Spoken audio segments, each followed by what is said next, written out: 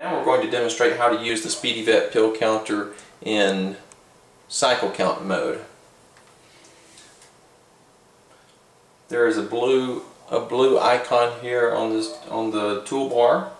If you hover over it, it says toggle counting mode.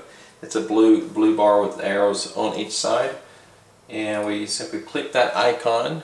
You'll notice that a, a red box appears around the display here, and it says cycle count mode. That's just to make sure the user knows whether they're in dispensing or cycle count mode. The typical mode is going to be in dispensing for everyday use and then cycle count mode every every so often uh, depending on how often your practice does cycle counts. So in cycle count mode we simply scan the barcode and it comes up with the in the, the this this medication is in the internal database and we just verify that the the medication is exactly what's on the screen, thyrosin 0.3 milligram and we place it on the scale. And it tells us how many how many tablets are in this bottle. And in, in, for every medication that's in the internal database there the cotton is removed the foil is removed, any kind of paper that may be attached to the bottle is removed.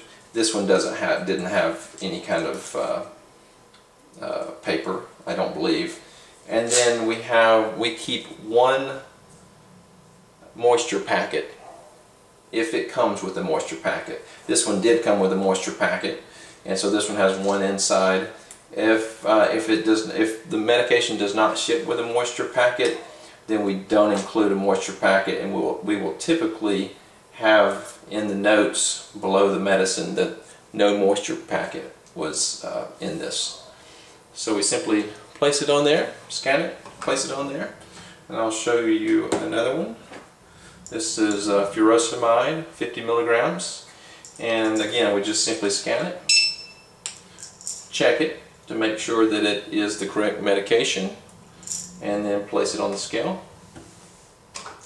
And this one has 407 tablets. You can see that this one, if it shows up on the, the video, this one has no moisture packet, which means it just wasn't, it doesn't ship with a moisture packet.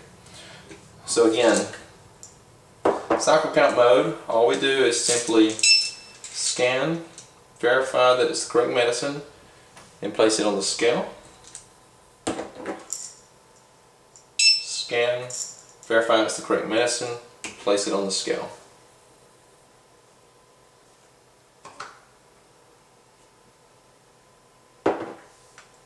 And that's cycle count mode.